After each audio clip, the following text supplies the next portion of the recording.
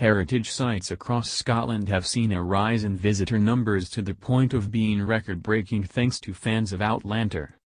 It's no secret that fans of Outlander have paid a visit or two to some of the locations that have appeared in the series. Culloden has been a major tourist attraction for fans, and the Scottish tourism industry even has an Outlander tour or two of some sorts. So many fans have visited the various Scottish heritage sites that the numbers have grown to the point of record-breaking. The numbers speak for themselves, with more than 5.2 million people visiting various Scottish heritage sites. The HES revealed that out of the 10 most visit locations, 7 have seen record-breaking numbers, and 3 of them are sites from the Outlander series. Is that a coincidence? No, it really isn't.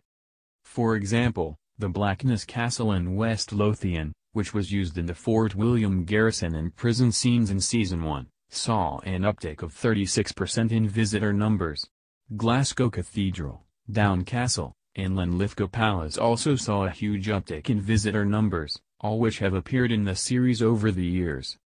However, while Outlander has played a huge impact on the number of visitors attending various Scottish heritage sites, it is not the only one. Netflix's Outlaw King and Focus features Mary Queen of Scots have also had a major impact as well, but we know Claire and Jamie is one of the biggest reasons. After all, there is something known as the Outlander effect.